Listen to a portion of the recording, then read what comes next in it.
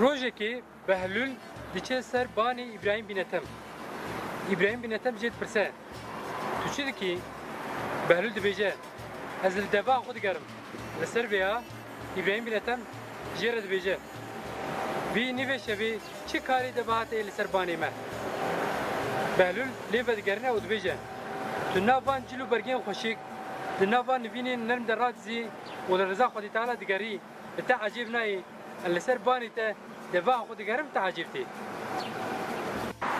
Rojekê çeto di rê de dimeşe, li yekî rastê çengê xwe vedike û wê hembêz dike.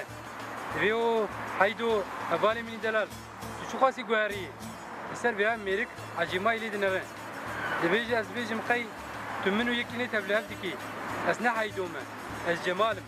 Li ser vê ya çeto qet helwesta xwe re nake. Ew kuro axeyte navê xwe jî guherî. Rojekê Temel der dixin mehkemê, dadgehê. Hakim jê dipirse, Kurê min, navê te çi ye? Temel dibêje, Navê min Temel e. Lê tîpa zeyê tê de tune ye. Li ser vê ya hakim dibêje, Ji xwe navê te de tîpa zeyê tune ye. Li ser vê ya Temel jî wiha dibêje, Ma me got çi hakim vek. Rojekî Îbrahîm dîne tem dibîne qerwaşa wî di nav nivînê wî de razayî. Li ser vê ya Îbrahîm bîna tem hêrs ve û şîmaxek tîn lê dixe. Qerwaşa wî dest bi girî dike.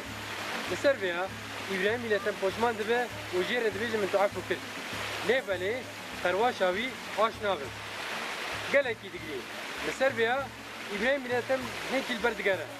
A dawiyê qerbaşa wî wiha dibêje, Ez ji bo xwe nagirîm, ez ji bo te digirîm. Ez pênc deqana nivînê nerm de raketim, min şîmaxe xwar. Lê tu? Çend sal e tu nav van nivînê nerm de razayî. Tê hesabê wê çawa bidê?